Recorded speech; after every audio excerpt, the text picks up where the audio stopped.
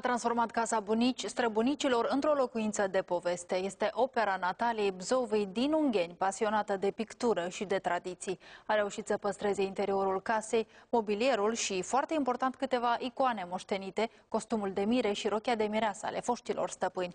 Acum, porțile casei memoriale Moș Pantelii, cum îl chema pe străbunicul Nataliei, sunt deschise pentru toți.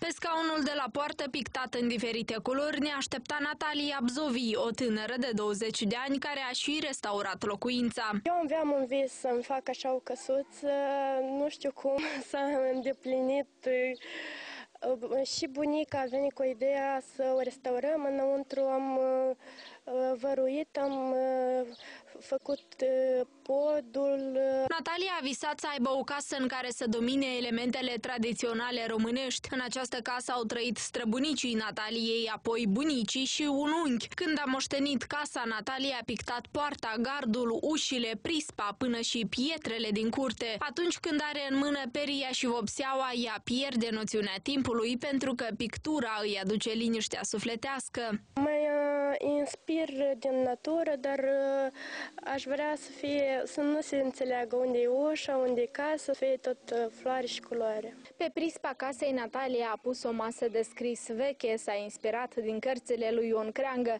Pe masă găsim două caiete unde pot lăsa impresiile toți cei care trec pragul casei. Mesajele vor putea fi citite și peste ani.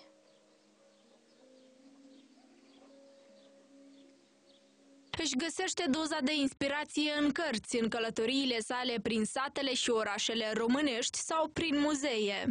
Am fost în România la Muzeul Țăranului și de acolo m-am uitat pe fereastră la o căsuță și m-am îndrăgostit așa de tare că am spus că a, asta e ce eu vreau să fac.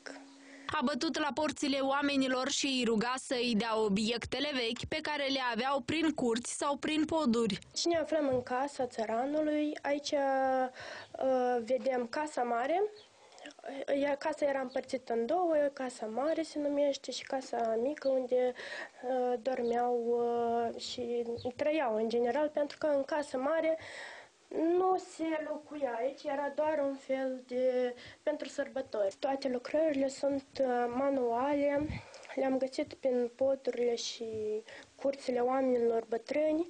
Uh, eu le-am am luat toate lucrările și le-am uh, un pic restaurat, le-am înrămat și deja am făcut ca o lucrare oficială. Unele obiecte îi sunt aduse de prietenii familiei sale, care cunosc despre pasiunea Nataliei. De exemplu, a primit în dar o carte veche de peste 100 de ani. Această carte uh, este din în jur de anii 1870, unde se găse, am găsit chiar și o ștampilă unde scrie regatul uh, Români, României cu uh, poza lui Carol I.